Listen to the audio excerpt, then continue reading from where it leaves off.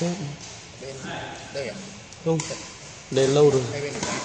Vì ăn gì đi ở đây bao nhiêu năm rồi, bây giờ đi học xong rồi về à, học xong rồi về đây cũng kiểu cái vụ đây vào đi được có 5 năm con này con kia Lớp 4. nào S4 à mới mới lấy luôn à nhìn quay Về đây làm. Về đây lâu chưa? làm ở đây không phải là làm nghiệp vụ đâu Đợt trước cách đây 2 năm làm ở đây không thấy. làm ấy làm chuyên viên ấy làm hành chính ở ban ấy Biết được ban này. kiểm tra Nhưng mà mới đúng. mới hai năm. hai năm ở đây có quen ở đây quen hết mà.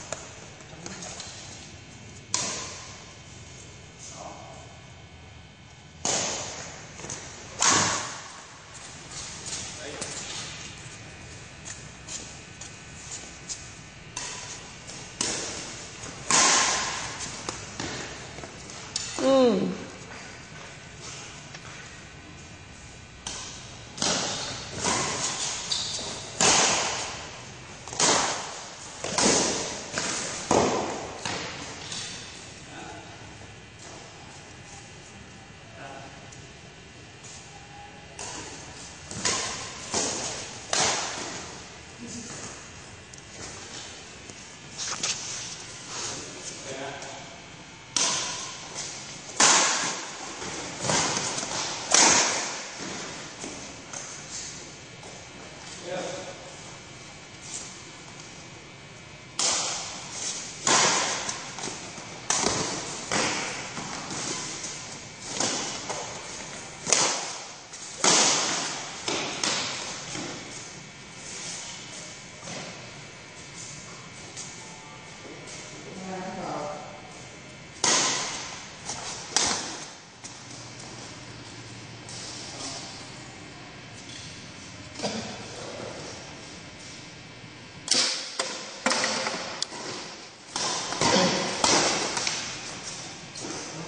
Giết rồi.